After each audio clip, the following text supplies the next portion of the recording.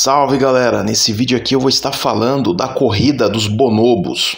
É um método inovador que eu estou trazendo aqui para o YouTube sobre o que é a corrida dos bonobos e como sair dessa corrida, que é mil vezes pior do que a corrida dos ratos. Para quem não conhece a corrida dos ratos, eu vou explicar um pouco aqui. Esse daqui é o mapa da corrida dos ratos. Você trabalha para ganhar dinheiro, para pagar contas até ficar sem dinheiro, então você trabalha e assim sucessivamente. E agora eu vou falar do meu método, a corrida dos bonobo, que é mil vezes pior do que essa clássica corrida dos ratos, pois essa corrida dos bonobos estão destruindo o Brasil. E nessa corrida, os bonobos trabalham e trabalham para conseguir dinheiro para gastar com bebidas, com cachaça, com cerveja, nos finais de semana, principalmente dia de sexta-feira, onde eles chamam sextou, em seguida eles bebem, enchem a cara no sabadou, domingou e por aí vai. E nessa corrida dos bonobos, o único objetivo deles é cruzar. E tudo que os bonobos fazem só tem um objetivo: comer alguém. E todos os finais de semana eles vão aonde tem barulho para fazer o acasalamento. Então, o bonobo trabalha e trabalha para conseguir dinheiro com o objetivo de cruzar. E para isso ele compra moto, tira o escapamento dela, compra carro, rebaixa para atacar som alto, para fazer barulho, gasta com bebida com a intenção de cruzar. E isso passa a ser o ápice do sentido da vida de um bonobo. E os bonobos passam a se conformar com uma vida miserável, morando em barracos, em favelas, em bairros estruturados, já que o único objetivo deles é cruzar, então eles arrumam uma moto, tiram escapamento, pois quanto mais barulhento eles forem, mais atenção eles chamam nas quebradas para poder cruzar com as bonoba.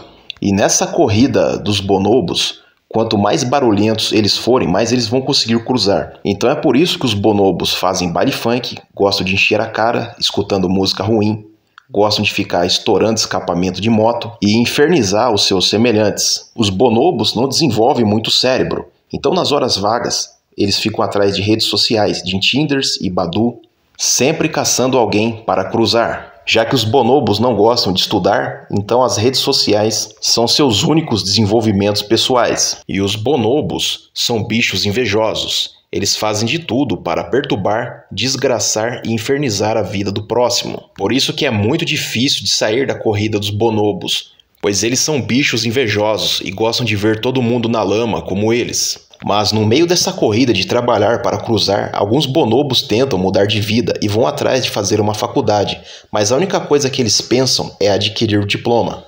Então o bonobo trabalha e vai estudar à noite, mas o bonobo dentro da faculdade só fica querendo saber de paquerar, de beber, de conversar. E só estuda para alcançar as notas para adquirir o diploma, sem se preocupar com o aprendizado. Então o bonobo, na base da cola e de notas razoáveis, ele consegue o seu diploma. Mas a corrida dos bonobos é tão cruel que mesmo com esse diploma ele não consegue exercer a profissão, pois ele continua sendo um analfabeto funcional. O analfabeto funcional é uma pessoa que sabe ler e escrever, mas tem incapacidade de compreender um texto simples, não tem um desenvolvimento e habilidade de uma interpretação de texto e de fazer operações simples de matemática. Uma pesquisa recente do IBGE mostra que mais de 13 milhões de brasileiros não sabem ler nem escrever. Outro levantamento é ainda mais assustador.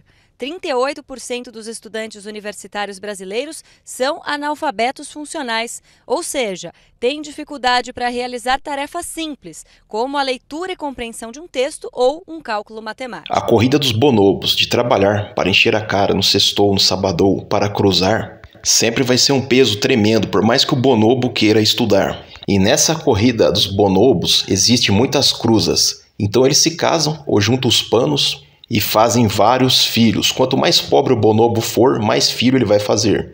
E os filhos dos bonobos vão crescer e vão ficar mais burros do que os bonobos pais. E cada nova geração vai ser mais idiota, e cada vez mais o Brasil vai se transformando um bostil intancável.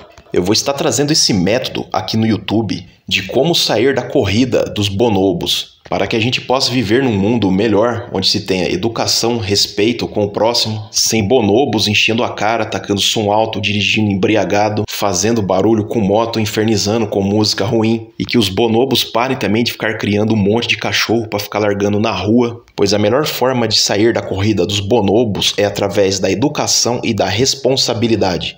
Beleza, galera? Até os próximos vídeos sobre como sair da corrida dos bonobos.